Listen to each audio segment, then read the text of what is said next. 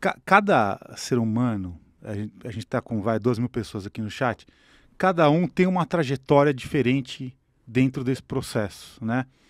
Alguns têm uma história muito mais intrínseca, por exemplo, o guru, que assim, de certa forma ele sempre viveu de um jeito ou de outro com a espiritualidade permeando a vida dele, mesmo que ele às vezes nem soubesse que, que fosse É, isso, né? Verdade. Mas ele entendia como um processo de cura.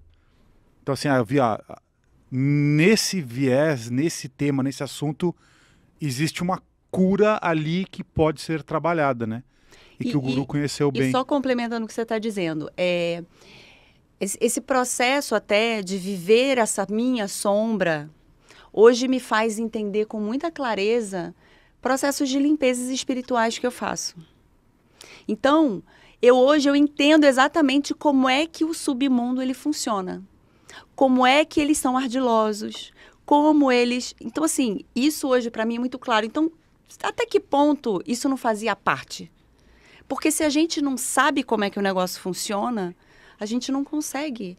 É, é aquele cara que vai trabalhar numa empresa e aí ele vai subindo todos os cargos. Ele entra lá embaixo, vai subindo, vai subindo, chega num determinado, sei lá, vira gerente. Ele sabe como todos os departamentos da empresa funcionam, ele sabe como é que tudo funciona. Então, talvez alguns processos tenham sido essenciais terem acontecido.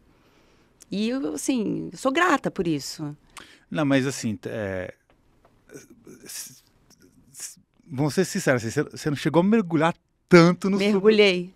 no- Sim. no submundo? Si- Sim, sim. Eu sei como é que as coisas funcionam. Ah. Não, o quê? Não, não é, é que, é que assim, a gente, já, a gente já teve cada história aqui de, de Não. submundo na vida. Não, olha só, eu nunca tive os problemas mais graves que você possa imaginar. Ah. Mas, sim, eu conheço esse lado. E eu te digo que eu conheço. Não, tá, tá bom. Mas- não, é que a gente já teve cada história aqui de. de não é, Guru? Oh, Ô, que história! De submundo. Não, ixi, teve, teve de tudo já. Né? tem. É, é Tudo que aí, um assim. pouco. É, verdade, verdade. Mas aí, já que tá, você, Então, você, vamos. você quer compartilhar então algum submundo Gente, que você olha, conheceu? assim, não dá pra falar tão abertamente, Não, mas sim, assim, é. é... Dá, um- dá um, dá um mas exemplo. assim, eu, eu, eu era jovem. O que, que jovem faz? Jovem vai pra noitada, jovem vai viver a vida, faz o que tem que fazer. Eu adorava ir pra uma rave. Ah, Ah! tá. Eu gostava de ir pra uma rave, adorava. Eu fui numa rave maravilhosa uma vez, numa, numa rave. Era, era, olha, eu fui numa rave uma vez, aquele assunto que muda totalmente.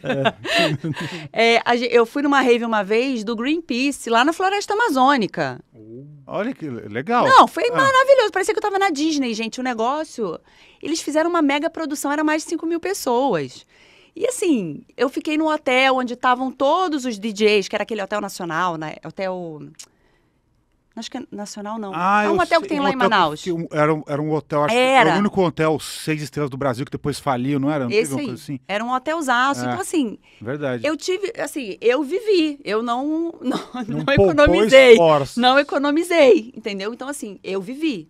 Só que, num determinado momento, isso tem um preço.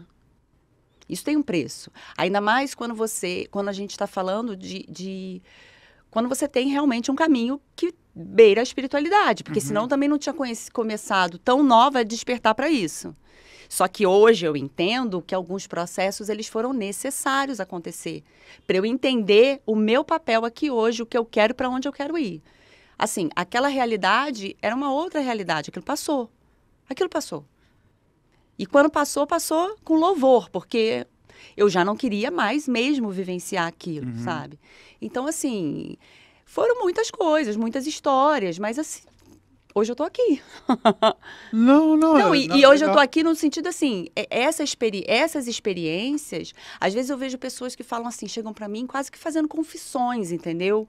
Ai, porque eu fiz isso, eu fiz aquilo, eu falo, calma, tá tudo Tá certo. bem, tá bom. Não se culpe, não se julgue, tá tudo certo. E o que, que você quer hoje?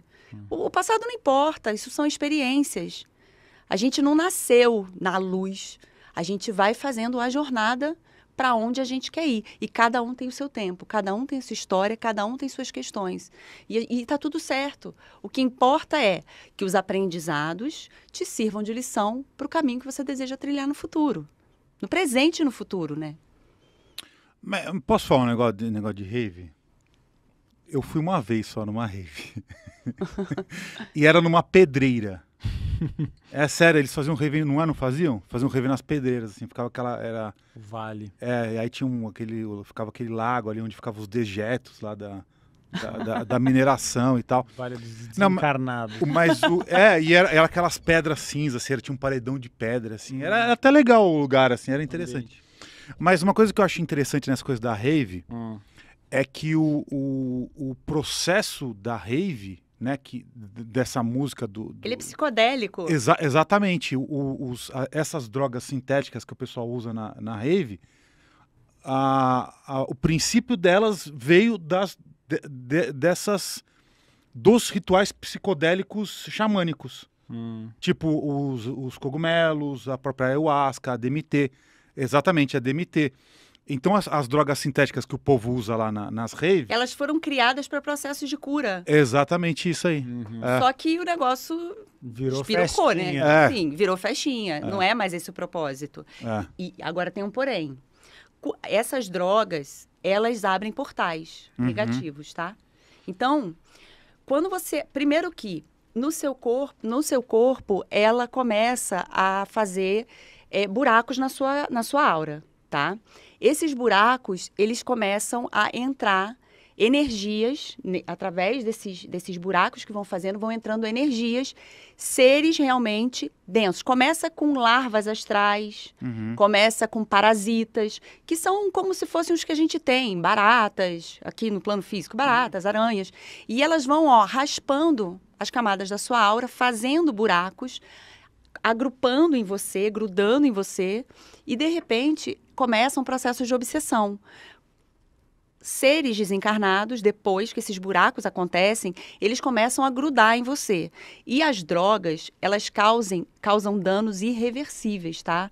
Elas causam é, buracos no duplo etérico que você às vezes não consegue restaurar nem em outras vidas, dependendo do grau de, de complexidade que a pessoa teve com as drogas, tá?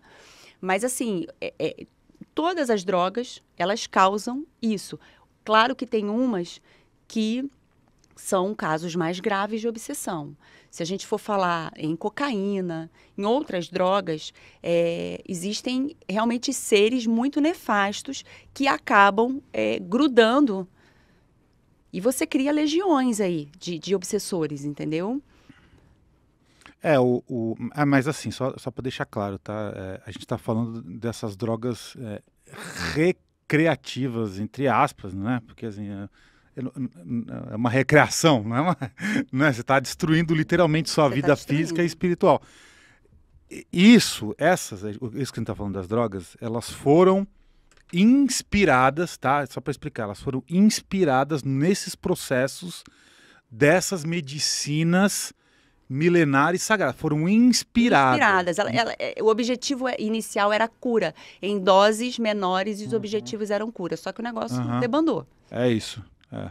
E aí a, a galera realmente. E, e- e e tem tudo a ver com propósito também, né? Porque assim, uma coisa é você usar uma, uma substância que é uma medicina ancestral para se curar de algo. Outra coisa é você usar uma droga para fugir da realidade, realidade. fugir dos seus problemas, fugir de si mesmo, E viver aí num começa um processo de, ilusão e depressão, fantasia. um É. processo de, de, de, de perda de valores, um, um processo de deteriorização geral Uhum. da pessoa. É, e essa, essa que eu esqueci o que eu ia falar. esqueci. Tá bom. Então bora. Então vamos. Não, eu- eu- você mas eu acho que de você- rave, É, não, mas eu- acho que você ia, você, eu acho que você ia falar dessas coisas da- das aberturas do duplo etéreo, Não, abre, co- começa a abrir, você vai criando processos obsessivos complexos. Aham. É, você abre portais negativos, então seres e energias negativas começam a te localizar e o que, que acontece? Eles começam a grudar em você, eles começam a sugar a, a, a tua energia vital, Uhum. eles sugam a tua energia vital, e aí começam os processos depressivos. A pessoa não quer mais pegar a luz do sol, a pessoa começa a viver o lado noturno, ela não acorda mais de dia. Começa, é, um é uma reação em cadeia. E você vai levando essas energias para dentro da sua casa. Uhum. Porque eles começam a virar, você vira comida de ser. Porque vamos combinar. A moeda de troca do submundo é a energia vital. Uhum. Eles querem a sua energia vital.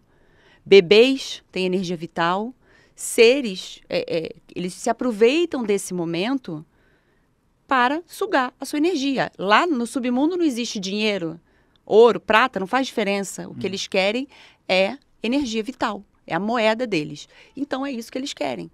Então, quanto mais a gente se cuida, se protege nesse sentido, é, menos danos você tem aí para sua vida, porque isso é uma reação em cadeia. Você começa a ser prejudicado de um lado, a sua vida vai ficando decadente no outro, É verdade. e, e vai aí começa problema financeiro, problema no relacionamento, problema na saúde. E aí tchau, porque depois você, você- você entra numa ladeira abaixo que não tem mais solução. Não tem mais solução.